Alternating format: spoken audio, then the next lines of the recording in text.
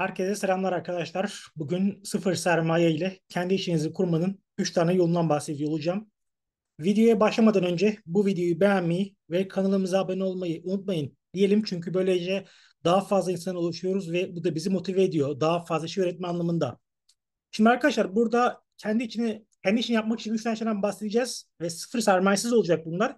Ama bunların kendi içinde alt başlıkları var. Yani biz burada neyi hedefliyoruz onları açıklamak lazım videonun anlamını daha iyi sunmak için.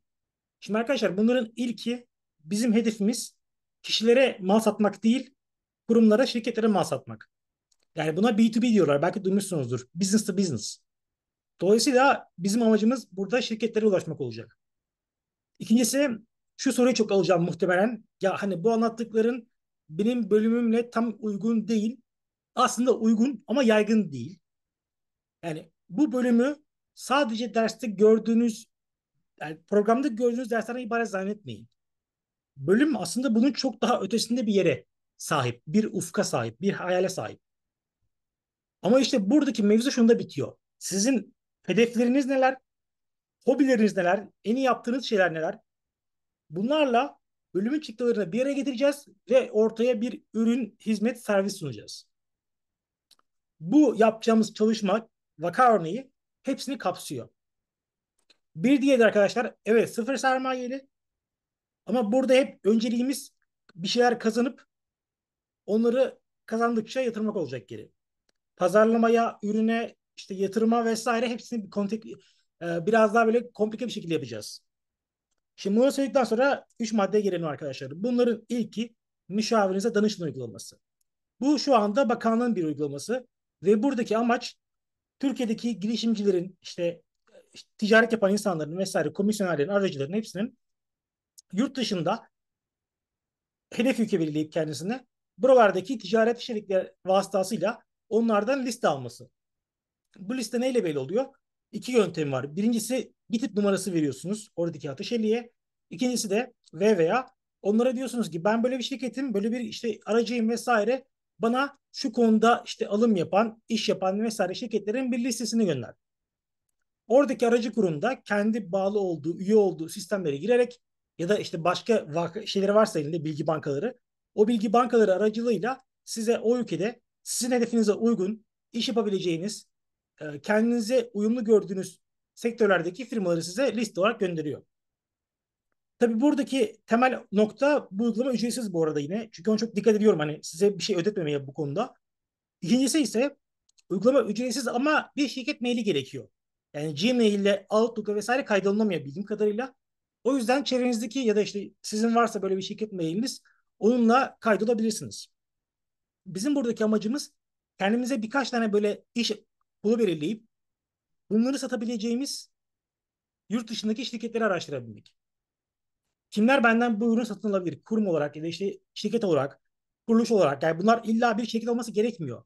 Bir vakıf, dernek vesaire de olabilir. Yine bunları da üzerine düşünebiliriz. Şimdi bunları direkt burada söyleyemiyorum. Niye söyleyemiyorum? Hani bir gizlilik vesaire değil de e, sizi bilmiyorum. Yani kişi olarak, işte Ali olarak, Ayşe olarak e, nasıl bir profil olduğunuzu, neyi üretmenin sizin için haz verici olacağını bilmiyorum. O yüzden benim burada size net bir şey söyleyebilmem mümkün değil. Ama mesela yorumlara yazarsanız hani ben böyle bir kişiyim. Bölümümde şunları şunları yapmaktan zevk alıyorum. Bölümüm haricinde bunları yapıyorum diye kendinizi ifade edebilirsiniz mesela. Bunlar üzerine tartışabiliriz. Ve veya tabii ki daha da güzeli açıklama kısmındaki Super Peer üzerinden üyelik alırsanız bizimle bir saat boyunca görüşerek orada bu konuları daha detaylı tartışabiliriz bu bir saat boyunca. Şimdi arkadaşlar müşavirinize danışın bu şekilde. İkinci başlığımız LinkedIn.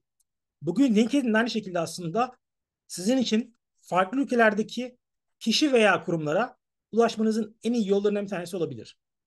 Şimdi müşavirinize danışında kendi hedef kitlenizi çok daha iyi göreceksiniz. Ama müşavirinize danışındaki bütün bilgiler güncel değil. Bunu söylemem lazım. Yani özellikle böyle mesela Orta Doğu ülkelerinde, işte Afrika ülkelerinde vesaire bilgiler çok şeffaf değil. Ve veya güncel değil. Dolayısıyla oradaki bilgilerin her zaman geçerli olduğunu iddia edemiyoruz. Oradaki şirketler özellikle bir tık daha büyükse bilgilerini LinkedIn'den aynı şekilde kıyaslayabiliriz. Bunu nasıl yapacağız? Şirket ismi girerek vesaire. Aynı şekilde önceliğimiz mesela şirketler değil de bizim için kitlelerse yani anahtar bir kişi ise örnek veriyorum işte tekstilde mağaza açacaksanız kurumlardan ziyade bir kişi sizin için daha önemlidir. Oradaki satın almacı ya da oradaki merchandiser'lar mesela. Bu tarz kişileri de LinkedIn'den daha iyi bulabilirsiniz. Burada önceliğimiz hem kurumlar hem de aynı zamanda kişiler oluyor. Üçüncü madde arkadaşlar Google. Şimdi Google'daki esprimiz şu. İlk iki madde bize hedef kitlemizi çok doğru bir şekilde gösterecek. Hangi kurumlar bizim için daha uygun olabilir? Bunları gördükten sonra Google'a gelip işte e, bla bla companies in işte Belgium mesela. Belçika'daki şu tarz şirketler diye arattığınız zaman ve bunu haritalara getirdiğinizde orada mesela şey vardır ya işte görseller, haber vesaire alışveriş kısımları. O sekmeden lokasyona tıkladığınızda, haritalara tıkladığınızda kendinize en uygun yapıları daha iyi görebilirsiniz. Ve onların telefon numarasına direkt ulaşabilirsiniz. Ben mesela bir dönem gümüş iş yapmak istedim ve işte Jewelry Stores in Bulgaria, işte Jewelry Stores in Uganda falan diye böyle bütün ülkeleri arattım. Ve hakikaten mesela o dönem güzel bir böyle network edinmiştim kendi içimde. Ha bunların %100 çözüm olduğunu söylemiyorum bu arada. Ama bence başlangıçta böyle denemeye değer işler arkadaşlar ortaya sunacaktır. Benim anlatacaklarım şimdilik bu şekilde bu video için. Bunların devamını yapacağız mutlaka. Tekrar söylüyorum yani söylediklerim soyut kalıyor. Evet yani bunun farkındayım ama bunu somutlaştırmam için sizi tanıyor olmam lazım. Yani sizin isteklerinizi, neleri daha iyi yaptığınızı, neleri yapmanızı görmem lazım. Çünkü diğer türlü bir şey söyleyeceğim mesela. Örnek veriyorum gümüş örneğini verdim. Bunu bile söylerken biraz çekindim çünkü bu sizin bölümünüzle ya da sizin hobilerinizle çok başka olabilir. Çok alakasız kalabilir. Bunu daha iyi yorumlamak için, daha analiz etmek için sizinle bunları tartışıyor olmamız lazım. İnteraktif bir ortam gerekiyor. O yüzden bugün danışmanlıklar, birebir anlaşmalar çok daha önemli arkadaşlar. O yüzden aslında Super Peer linki ekte bizim için ve sizin için aynı zamanda çok çok kıymetli. Yine aynı şekilde yorumlarınızı, eleştirilerinizi, düşüncelerinizi mutlaka bekliyoruz. Çünkü olabilir yani belki es geçtiğimiz bizim size daha iyi ifade etmemiz gereken noktalar vardır. Onları da sizlerin geri bildirimleriyle birlikte daha iyi yapabiliriz arkadaşlar. Önümüzdeki videolarda görüşmek üzere diyelim. Şimdilik hoşçakalın.